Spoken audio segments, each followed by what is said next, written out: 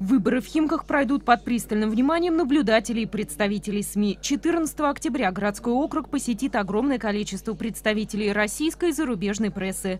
Для скорейшего разрешения спорных ситуаций председатель Мособлсбиркома Ирек Вильданов обещал, что лично будет присутствовать в Химках. Будет большое количество наблюдателей от разного количества, от разных кандидатов, от разных политических партий.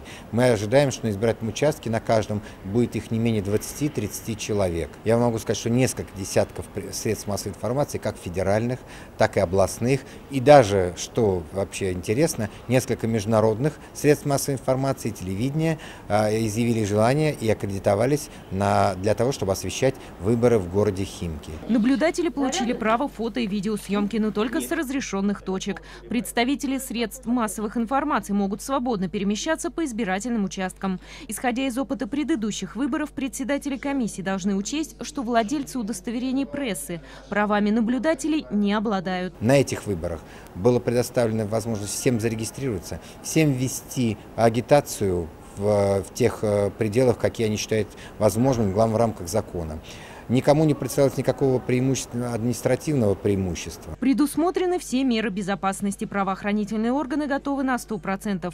Комплексы обработки избирательных бюллетеней установлены на всех участках области. На случай отключения электричества предусмотрены бесперебойные источники питания. Новинка этих выборов – информационные плакаты с правами и обязанностями наблюдателей, а также списком нарушений, за которые предусмотрены удаления. Все участки оснащены видеокамерами. Записи будут храниться в течение одного года года. Юлия Арянина, Валерий Алексеев, служба новостей.